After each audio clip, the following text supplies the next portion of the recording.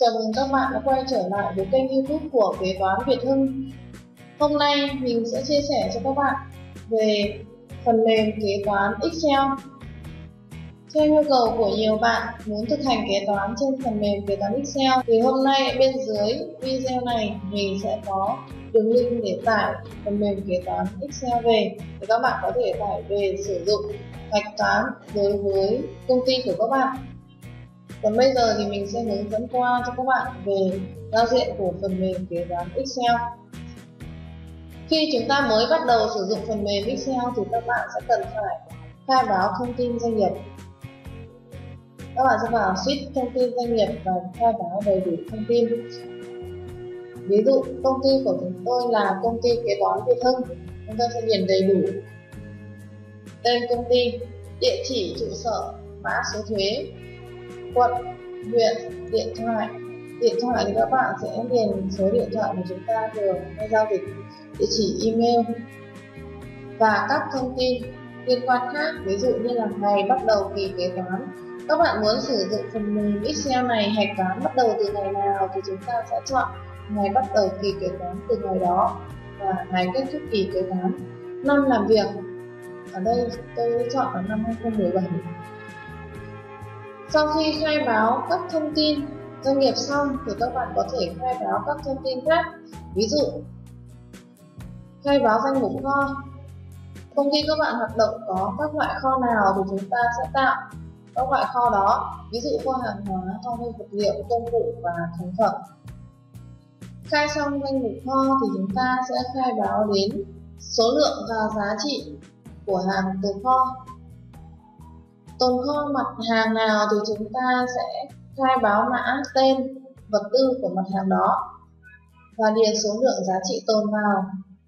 Khai báo xong, danh mục vật tư hàng hóa thì chúng ta sẽ khai báo tiếp đến danh mục khách hàng nhà cung cấp. Danh sách khách hàng nhà cung cấp thì ai là khách hàng thì chúng ta điền khách hàng và chọn loại là khách hàng. Còn ai là nhà cung cấp thì chúng ta sẽ điền tên nhà cung cấp và loại nhà cung cấp khách hàng nhà cung cấp nào có số dư nợ thì chúng ta điền dư nợ, và có số dư có thì các bạn sẽ điền dư có. Tiếp theo là đến danh mục phân bổ. Danh mục phân bổ này nó sẽ bao gồm tài sản cố định và công cụ dụng cụ. Thì những công cụ và tài sản nào mà những năm trước các bạn phân bổ số hao vẫn còn giá trị thì chúng ta sẽ khai báo tiếp vào sheet danh mục phân bổ này để chúng ta khai báo các thông tin. Tiếp theo là đến khai báo danh mục nhân viên. Đối với nhân viên thì chúng các bạn sẽ cần điền đầy đủ mã, họ tên, lương của nhân viên để sau này nó sẽ tham chiếu đến bảng lương cho các bạn. Thì công ty chúng ta có bao nhiêu nhân viên thì các bạn sẽ điền đầy đủ bấy nhiêu nhân viên lên bảng nhân viên này. Tiếp theo là các bạn sẽ khai báo đến số dư của các tài khoản trên danh mục tài khoản tài khoản nào có dư nợ thì chúng ta điền dư nợ, và tài khoản nào có dư có thì các bạn sẽ điền dư có. Và chúng ta lưu ý điền vào tài khoản chi tiết để phần mềm tự cập nhật lên tài khoản tổng hợp cho các bạn.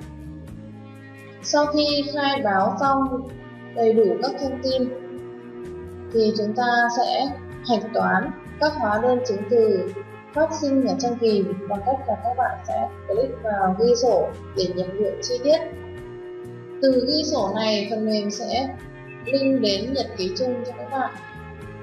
Chúng ta sẽ tìm đến nhật ký chung. Đây là nhật ký chung và sau khi chúng ta đã hạch toán đầy đủ ở bên phần ghi sổ thì phần mềm sẽ xử lý trên phần nhật ký chung và số liệu ở trên bảng cân đối tài khoản cuối kỳ thì sẽ được lấy từ nhật ký chung ra trong nhật ký chung này thì phát sinh những nghiệp vụ nào thì chúng ta sẽ hạch toán đầy đủ các nghiệp vụ đó lên. Còn đối với việc hạch toán các cái chứng từ về nhập xuất kho thì ngoài hạch toán bên phần ghi sổ thì chúng ta sẽ phải thao tác thêm ở trên phần nhập xuất thành phẩm công cụ nguyên vật liệu và phần tổng hợp nhập xuất tồn kho hàng hóa. Thì lúc đó phần mềm mới cập nhật lên bảng tổng hợp nhập xuất tồn cho các bạn trên bảng tổng hợp nhập xuất tồn thì chúng ta sẽ cần phải chọn lại mã hàng và phần mềm tự động cập nhật đầu kỳ nhập xuất trong kỳ và số dư cuối kỳ cả về số lượng và giá trị. Sau khi hạch toán xong thì chúng ta có thể xem các sổ chi tiết và sổ tổng hợp ở các sheet tiếp theo. Đối với công ty thương mại thì sẽ không có giá thành nên tài khoản 154 sẽ không thực hiện. Và phần mềm kế toán Excel thì thường sử dụng để làm cho công ty thương mại.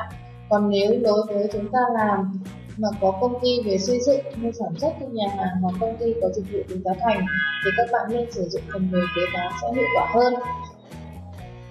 Làm phần mềm kế toán Excel thì cũng ra kết quả cho chúng ta, nhưng nó sẽ không được cụ thể chi tiết và thời gian sử dụng phần mềm Excel sẽ dài hơn là sử dụng phần mềm kế toán do đó chúng ta cần lựa chọn phần mềm nào nó phù hợp với loại hình doanh nghiệp cũng như là phù hợp với thời gian làm việc của các bạn như vậy tôi vừa hướng dẫn qua cho các bạn về giao diện phần mềm kế toán Excel nếu như bạn nào có nhu cầu học về khóa thực hành kế toán trên phần mềm Excel thì các bạn sẽ liên hệ với kế toán Việt Hưng theo số điện thoại 0988 680 223 để bên mình sẽ tư vấn và giáo viên sẽ hướng dẫn. Cảm ơn các bạn đã quan tâm đến kênh youtube của Kế toán Việt Hưng. Xin chào các bạn và hẹn gặp lại.